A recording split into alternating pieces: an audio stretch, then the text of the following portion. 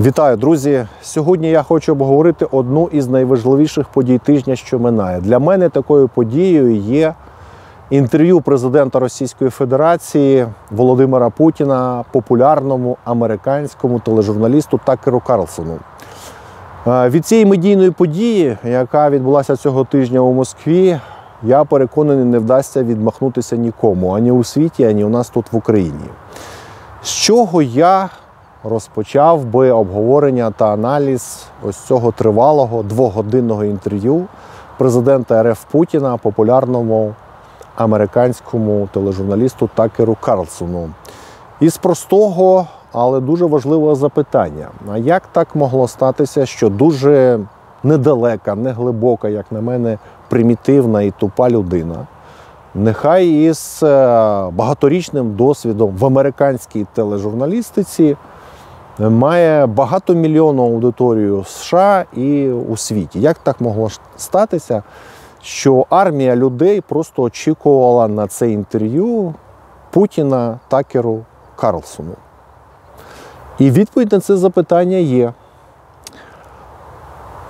Ось ця е, багатомільйонна аудиторія у примітивної людини не є випадковістю.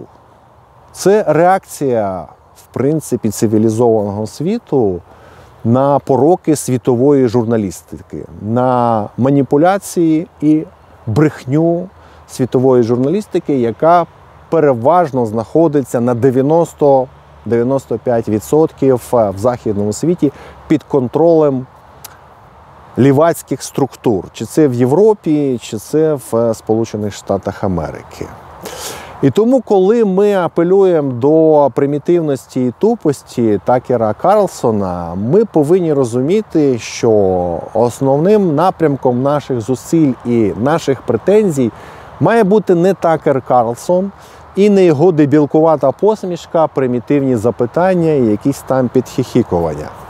До речі, Такер Карлсон в розмові з Путіним показав себе ну, досить такою професійною і зібраною людиною. Він не втрачав концентрації не на секунду, але так і не зміг він приборкати Путіна в силу своїх невеликих професійних здібностей. Йому ніколи, як на мене, не доводилося говорити от з такою людиною. Тим більше йому важко було говорити з Путіним, як зі своїм кумиром. Він то формально ніби його перебивав і скеровував своєму напрямку, але найголовніших запитань, я переконаний, які цікавили його, йому не вдалося от задати. Ще одне запитання я би поставив після першого. Як так могло статися, що американський тележурналіст, популярний причим, який входить до е, політичного істеблішменту, приїжджає на урок історії в Москву і з відкритим ротом слухає історич, історичні якісь там замальовки від Володимира Путіна. Причим досить з цікавістю він це робить і так далі. Це теж наслідки примітивізації гуманітарної освіти в світі. Особливо серед, ну не знаю, консервативної частини західних еліт. Не знають вони історії і не знають вони багатьох речей, хоча мають інститути з вивчення пострадянських народів, народів Росії, вони вчать там детально народи Східної Європи, але щось щось не те, не так. І це ну, дається в знаки. От В розмові більше того, це позначається на світовій політиці. І це е, те, що ми повинні взяти ну, до уваги. Примітивізація освіти, яка відбулася чомусь серед консервативних еліт. Тепер я розіб'ю на кілька там блоків. Перший, звичайно, це історичний блок. Він ну, цьому блоку було присвячено так повних 30 хвилин, а може більше, а загалом ця історична лінія або нитка, вона нею пронизана вся розмова між Карлсоном і Путіним. У нас в Україні багато обурених, які говорять про те, що Путін маніпулює, він е, бреше, викручує факти. Все підводить до того, щоб знищувати українців, оскільки українців в його картині світу не існує. Добре, з Путіним все зрозуміло. Але ж питання не в Путіні, ні в Такері Карлсоні. Давайте ми чесно собі скажемо, що у нас таких е, Путіних і Карлсоних тут в Україні, в Києві десятки. Десятки. Дехто вже виїхав е, за кордон. Таких от інтерв'ю Олексій Арестович роздав десятки або навіть сотні. І сотні таких е, такерів Карлсонів, ну добре, десятки таких Карлсонів брали у нього інтерв'ю і е, слухали оці всі історичні інтерпретації від Олексія Арестовича. Суть інтерпретації дуже проста. Київ, Київська Русь це місце, де народилося дві великих цивілізації. І найбільша цивілізація це, звичайно, російська. Київ це місце і місто, яке дало початок російській мові. І росіяни, які живуть в Україні, це такі самі природні люди, як гуцули в Карпатах. І ми повинні їх всіляко шанувати. Чимось подібним займається Данило Яневський. Ярослав Грицак е, донині, до недавнього писав статті в Лімонд, е, розказував про український буржуазний націоналізм, бачив головною проблемою в Україні Бандеру, бандерівців, е, нацистів, ще там чогось і так далі. Тобто, у нас безліч людей в Україні, які займали позицію подібну до Путіна. Вони фактично працювали проти України і давали підґрунтя західним інтелектуалам для того, щоб вони з відкритим ротом слухали Путіна і вважали його правим. Це надзвичайно важливий момент, який ми не хочемо визнати. У нас достатньо, я ще раз підкреслюю, таких як Путін і Карлсон. Тільки тут у нас в Україні. Потім дуже правильно хтось зауважив, Росія перебуває в ізоляції, але знаходить шанси і можливості для того, щоб на весь світ розказати свою позицію. Це говорить про те, що є запит на її позицію. Ми не були переконливими, раз Такер Карлсон приїхав в Москву і хоче щось дізнатися. Йому щось не вистачає. Не вистачає правди, гостроти, конкретики. І за це несе відповідальність е, українські інтелектуали і еліти. А їх немає, вони від, вони відсутні. В принципі, це інтерв'ю, яке відбулося в Москві, воно повинно підвести таку масну риску під українськими університетами, кафедрами і інтелектуалами. Вони не спроможні, це все треба згортати і викидати. Ми даремно фінансуємо цих людей. Точно так само даремно, як Дніпровське відділення поліції, яке відмовляється не просто йти воювати, а називає керівника, який приїхав е, з Києва, цією майданівською гнидою. От у нас е, точно такі люди працюють на кафедрах. Вони або ялові і неспроможні, або взагалі займаються антиукраїнською діяльністю, незважаючи на те, що навіть можуть говорити українською мовою і дуже носити довгі такі шарфіки на шиях, імітуючи інтелектуалів. Оце те, що я хотів би сказати в частині історичній. Тепер, пропускаючи певну частину, я перейду до подій 2014 року. Що показало це інтерв'ю? Що Путін е, і Кремль, вони, попри те, що роблять дуже багато помилок, і дискредитують себе і не можуть себе стримати. Це аналогії з Гітлером, там питання Польщі. Я до цього ще підійду. Значить, 2014 рік. Путін сказав правильні, зробив правильні посили і зауваження. У нас ніхто не хоче підняти це питання і хоча б зараз виправити це все. Я вже не кажу про необхідність покарати цих людей, які здійснили важливі антиукраїнські дії. Причому я не можу сказати, що це геть було свідомо зроблено, але те, що це однозначно антиукраїнські дії, антидержавницькі дії, це точно. мова йде про ескалацію подій у Донецьку і в Луганську. Значить, в березні місяці, а про що сказав Путін, що ми використали е, зброю і Збройні Сили України проти власного народу. Формально люди в Луганську і Донецьку мали українські паспорти, і вони вважалися громадянами України. Ми не могли використовувати 25-ту бригаду, 80-ту бригаду, ще якісь там бригади для штурму там Луганська і Донецька. Це було. Це помилка була. У нас були всі засоби і можливості це зробити через спецслужби, через Службу безпеки України. Я давно казав, е, що оці всі в білих рукавичках інтелектуали, спецслужбісти, люди міста, вони, власне кажучи, втягнули нас е, в дуже серйозні проблеми, і е, не тільки нас всіх, так, але і надзвичайного удару Е, зазнало сільське населення, тому що його використали в Збройних силах України.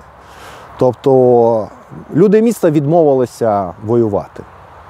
Стрілецькою зброєю, я підкреслюю, стрілецькою зброєю відмовилися воювати в містах в Луганську і в Донецьку, а кинули селян е, з гарматами, танками там, і реактивними системами залпового вогню. І Путін абсолютно правильно це говорить, і якби ми е, діяли через спецслужби, через е, реформу швидку СБУ, укомплектували би 10-20 е, тисяч бійців, які би штурмували облдержадміністрації в Донецьку і в Луганську, цього всього вдалося б уникнути. Справа в тому, що Путін він це показував Меркель показував Оланду і всім іншим. І, в принципі, це була ну, правова позиція. Ми програли цю частину. І Путін, е, в принципі, показує під час е, розмови з Карлсоном, що Київ, офіційний Київ, українська вища політична влада, вона діяла не дотримуючись міжнародного права. І ми нічого не можемо це ніяк перекрити. Ми фактично розв'язали війну і після проти власного народу, а Путін вже реагував на е, події 2014 року добровольцями, постачанням зброї, танків, снарядів і так далі. і тому подібне. Але це вже наслідок. наслідок. І Він виглядає переконливо в очах е, його прихильників, і Такера Карлсона і так далі. Це не осмислена сторінка нашої історії.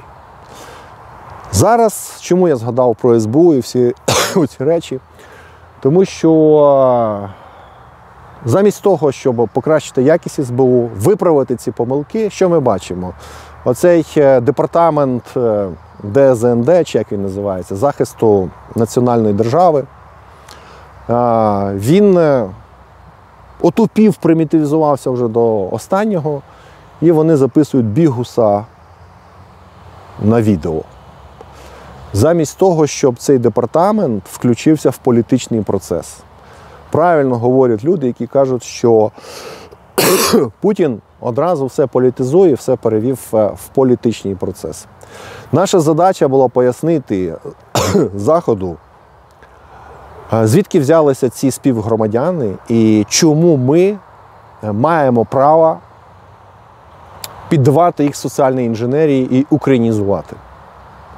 Або ставити питання про позбавлення громадянства. Для цього потрібно було написати десятки і сотні історичних довідок і аналітичних статей і розмістити їх по всьому світу.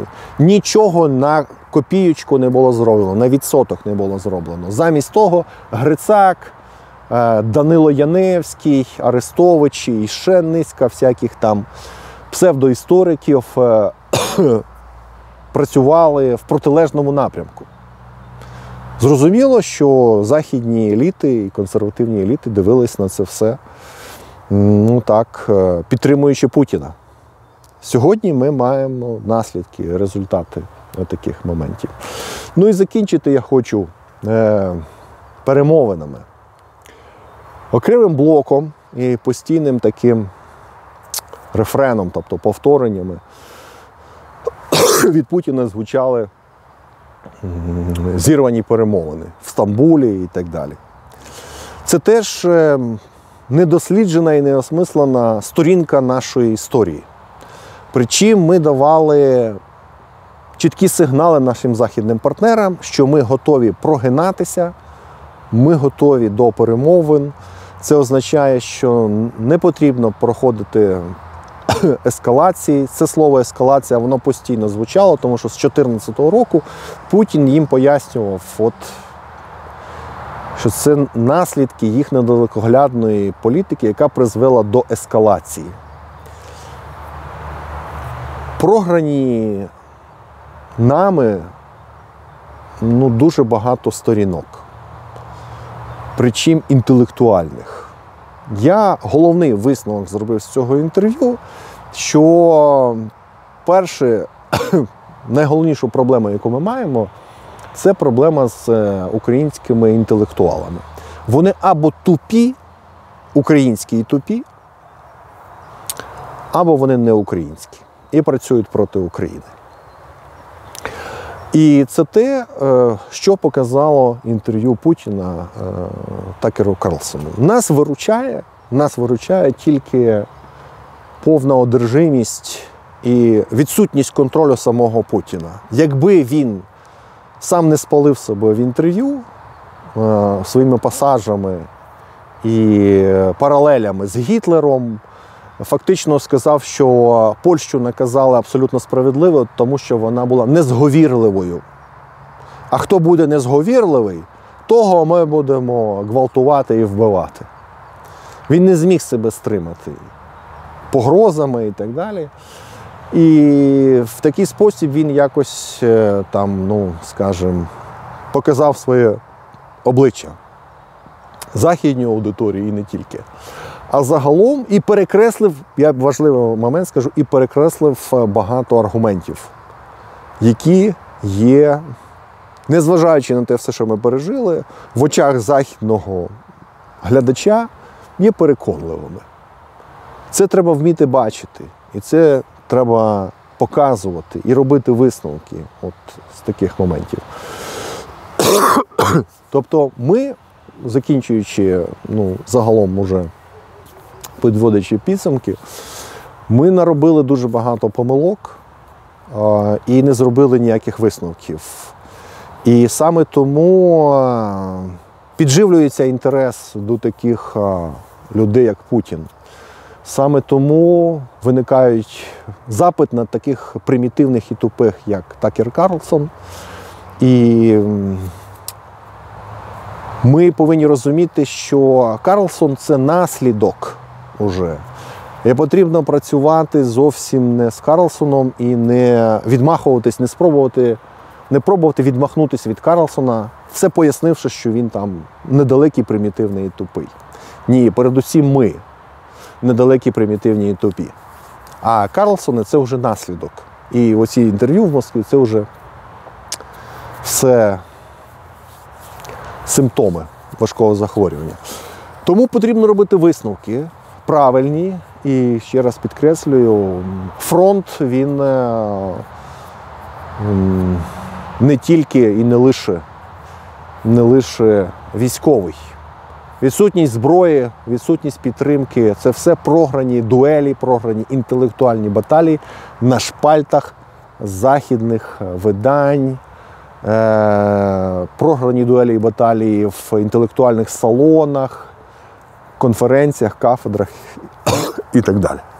Ну, в принципі, те, як би я хотів підвести підсумок під е, найголовнішою подією тижня, яка відбулася, на жаль, цього разу у Москві. Дякую всім за увагу, дякую всім за підтримку каналу. До побачення, до наступних зустрічей.